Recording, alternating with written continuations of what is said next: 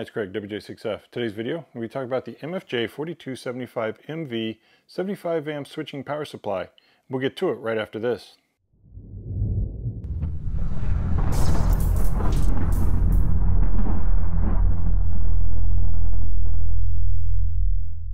Okay, the items come in the box. You get the power cord, owner's manual, you get a set of ring connectors, as well as connectors for power pole. And you get, obviously, the switching power supply itself. Some of the features of the 4275 are that it runs at 75 amps peak, 70 amps continuous. It's compatible with the ALS 500 solid state mobile amplifier. Has MFJ's hash squash filtering system. It's designed to protect against short circuits, overload, and over temperature. It's adjustable from 4 volts DC to 16 volts DC. Has battery charging terminals on the back. It measures 9 and 3 quarter by 5 and a half by 9 and a half inches and weighs 10 and a half pounds. And at the time of filming, it's going for $349.95.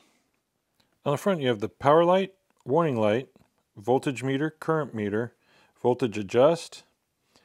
You have the cigarette lighter and the quick connect terminals. Both of these are 10 amp max. Anderson power poles are 35 amp max. You have these two binding posts, which is 40 amp max, and then you have five-way binding posts, which is the 75 amp max. Now there's a voltage adjustment from 4 volts DC to 16 volts DC using this knob right here. It has a detent for 13.8. You have two meters, a volt and an amp. As you can see, they are lit. Right now we're at 4.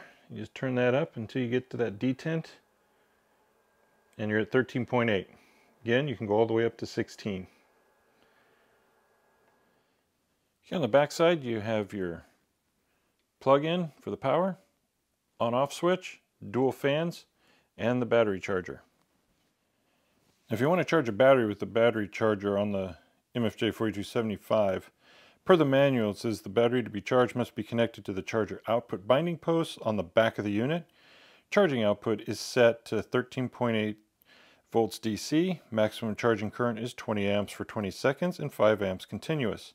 When the battery reaches its capacity, circuit will reduce charging current to a trickle charge of 30 milliamps. I'm going to show you the inside of this real quick.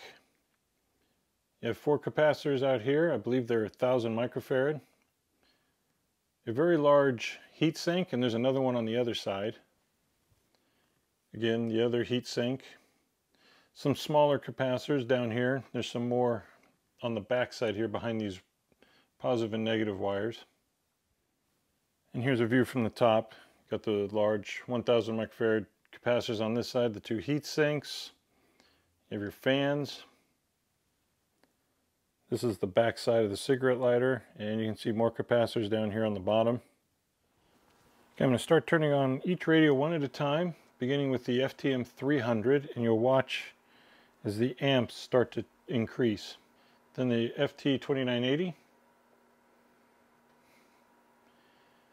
the ICOM ID5100, we go to the IC7300, FT991 Alpha, and then the FTDX 101D. See if we can make a contact. Right now, unfortunately, I only have a 2 meter 440 antenna set up. WJ6F testing. And I'm going to power them down starting with the 2 meter 440 radios. And you should see the needle start going back down to the left. Under the ID5100, FT991 Alpha, IC7300, and then the last one, the FTDX 101 Delta which seems to be the biggest power hog. I really appreciate you taking the time to watch this video. If you have any comments, questions, or concerns, please leave them in the comments section below. If you haven't done so already, please subscribe and don't forget to click on the bell so you'll be notified each time I upload a video. If you'd like to help support the channel, there's a Patreon link in the description area. And while you're here, check out one of these other videos. And thanks again for watching.